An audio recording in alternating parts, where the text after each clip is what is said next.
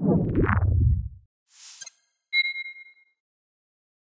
Espers! Welcome to Game Round or G Round for short. Welcome rin sa pinakabago nilang website. Let me take a teeny tiny bit of your time again to share with you what this platform is all about and maybe, just maybe, at the end of this intro, invite you to hop on this wonderful experience with yours truly, JCFE. Since November 2021, I have been making videos on demand here on my channel featuring indie games. But little did you know that you can create content as well from these awesome games. Giron features indie games in their catalog, two being added per week that will run for almost 4 weeks for players testing and review. Different studios with various genre offerings where you can take note of bugs, things that can be kept or scrapped, suggest a new mechanic or price the game when it gets released. The first step is very easy and that would be to join our Discord channel so you can communicate with the developers in the game that you are interested in. Here, you have a say in what's coming out for the full build of a game that will be out for public consumption.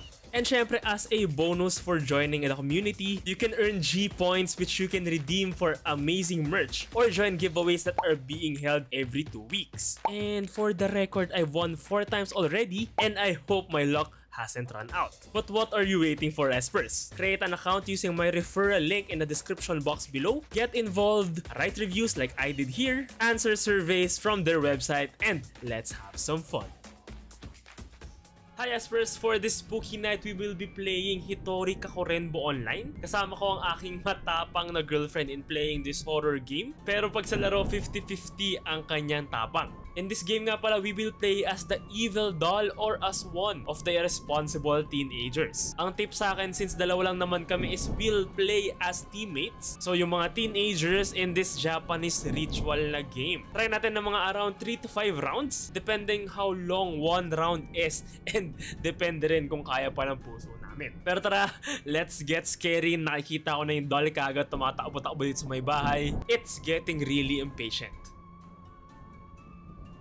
Okay, pili ka na ng ano, karakter mo. Sa ano siya, yung nasa left, yun yung ano niya, yung magandang skill. Yung nasa right na picture, yun yung negative Tapagal niya. natin. Ay, ang ganda. Ganda na animation, no? Nakaupo tayo sa pa. Ready up. Let's go. Start session mo na. Blue. Left control to Z to prone. E to open doors. F to use character's ability. Ang dami nangyayari. Wait lang. Ano, ano, ano tawag? Di ko nabasa. Di pa, di pa. Uy, ano gagawin natin? Run, hide. That open before the doll finds you. Open mo flashlight mo, R. Uy, may oras, may oras. Pre, pre. Pre. Pre, may timer, pre. Sino, sinusundan lang kita eh. Sundan mo lang ako, pre. Pwede ba kumawa ka ng gamit? E. Uy, meron na ako ng ano. Ano to? Meron ako asin. Start. Ano start? Find the first key, pre. Pag mag-o-op, Goki, asan ka na? Tabi ka lang sa akin. Hanap ka, pre. Mag- Mag-open ka ng mga drawer. E. Pag naha-highlight. May R, ah, flashlight. Agyo pa, pre, oh. May tubig, oh. Oh, may tubig na ako, pre. Naririnig ako naglalakad, pre. Ayoko na. Wala, wala, hindi ko na mahanap. Wala. Dito naman kasi tayo. Asa ka ba? Tinagad mo. Lolo, nandiyan yun! Nandiyan yun, dol! Nandiyan yun, dol! Ay, gag, pre. Andiyan na siya. Ano siya, pre? Ay, ano mangyayari? Tayo. Patay na ako, pre. Pre, nahabol ka niya. Nasa likod mo, pre. Ed. Pre, wala tayong nakuha. Ah, nagagamit yung salt, blind, and standard doll. Oo. Paano mo nalalaman? F1. Press Ah, F1. F1. First key is spawned at the beginning of the game. Second key is spawned if all team keep out of sight of dolls. Is spawned when you restore the lights in the basement area. Salt, blind, and stun the doll. Water slowed. Medical kit. Heal a friend. Alam mo, ba't nahihirapan din ako sa kunan mo? Bakit? Hinil extension ko. Pwede bang Tapos kapag hindi naka-flashlight, baka mamatay din talaga. Eh, dito na, dito na oh. Saan? Diyan siya? Dito siya. Wala akong asin, pre. Hmm. Shit. Oh, sinabuyan ko na stun, pre. Pre, lakad ka sa akin, pre. Hindi ko na mahanap yung susi, pre. Hmm, patay ka na. Hindi na pa ako tumitingin. Hindi ako na. Liga, liga. Wala. Hindi. Buhay pala ako. Kagapang na. Oh, hinihil kita, pre. Hinihil na ba ako? Oo, pre. Pero palapit na siya, naririnig ko na siya. Paano mo siya naririnig? Or siguro dahil hindi ako naka-headset, kaya hindi ko siya marinig. Ano nangyari sa akin? Ba't Nasa labas na siya, dito na siya, dito na siya, dito na siya. Ayan, yun, yun, yun, yun, labas, labas, labas. Um, patay ka ulit. Ayan. Naririnig ko na siya. Ah, patay na ako! Parang ang hirap naman.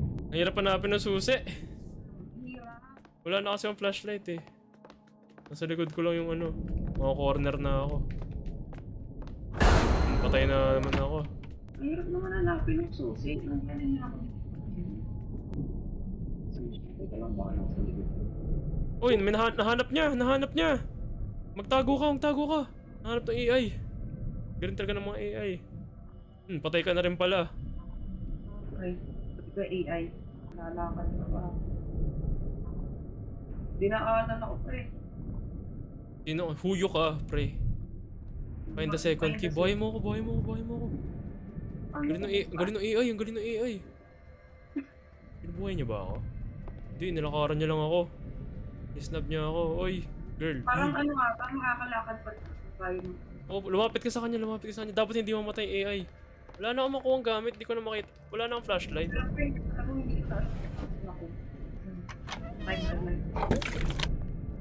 Tubig? Ba't mo bibigyan ng tubig? Kailangan ko yung flashlight ko. Hindi ka makapag-R? Wala na, wala na. Ulit nga tayo.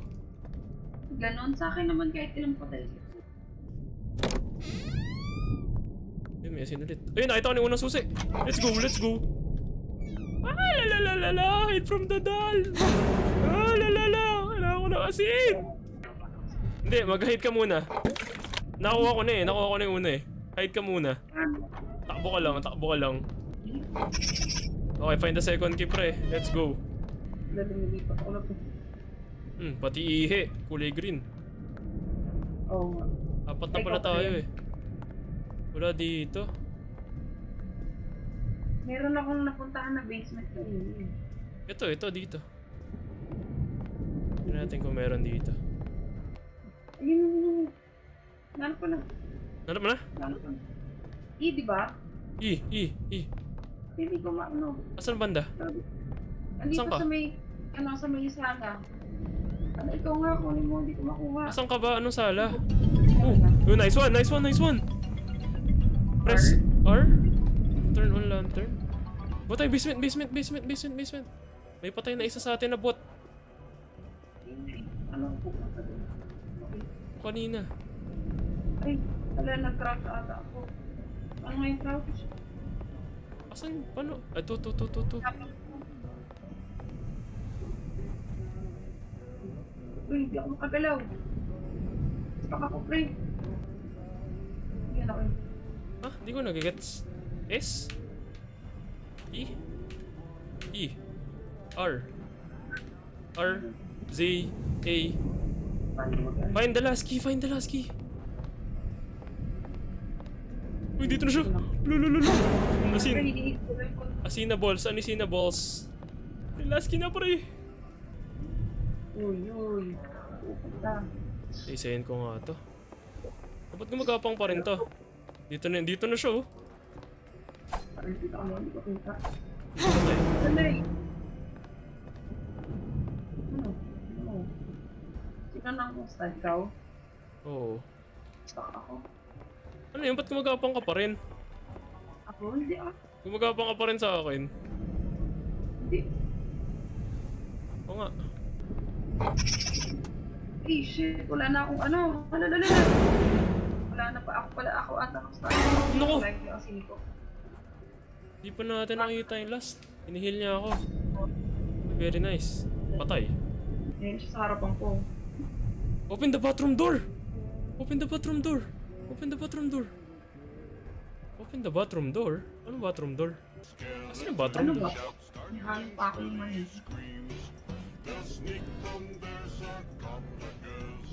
Oh, you won!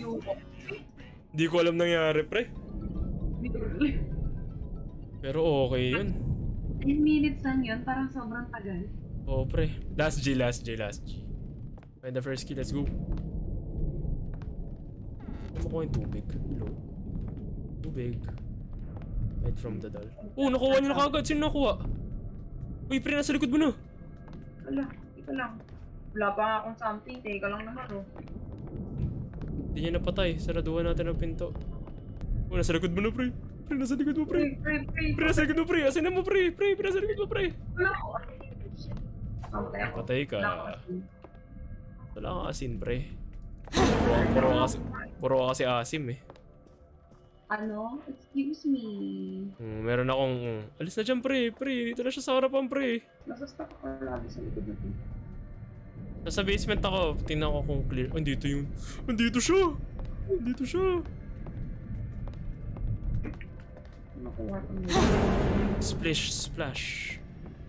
Splish, splash, boom.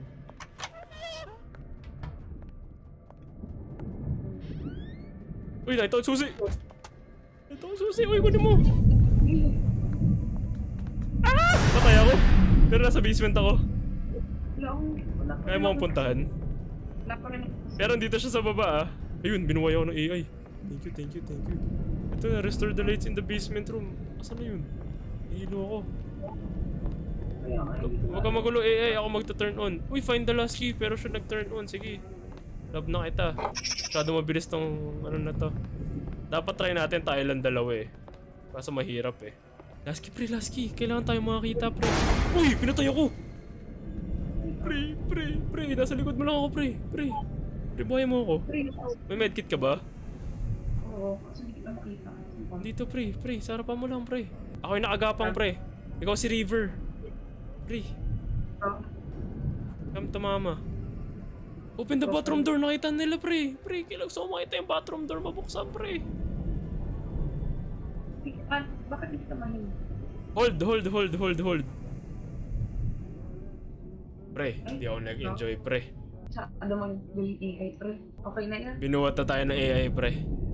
Oo, okay na yan. Hindi na. Pero sige, okay na yan.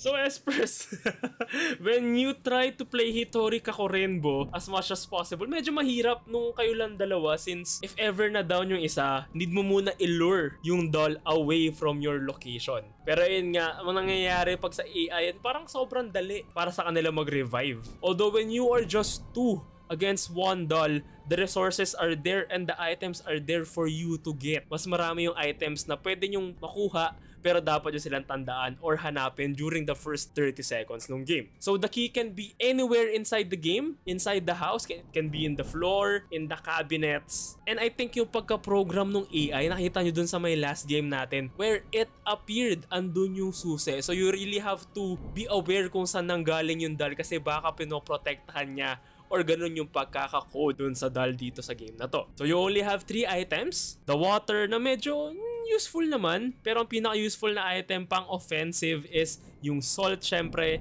and then for your teammates defensive siya is yung health kit or med kit. As for the characters naman, I believe ang pinaka beginner friendly is yung last natin na ginamit since hindi niya na kailangan ng med kit para mang-revive ng allies. Pero if you really want to find all the items or the keys as fast as possible. Doon ka siguro kay Barry or yung pinakaunang character. Let's try to find him nga. Okay naman si Barry Thompson although ayun nga nakalang dito makes more noise in movement. So mas madetect ka siguro nung doll when you are looking for items or the keys. Hindi natin masyado na-utilize yung pag-hide in places like the closets. Pero yun nga, you lose life gradually when you use Reyna.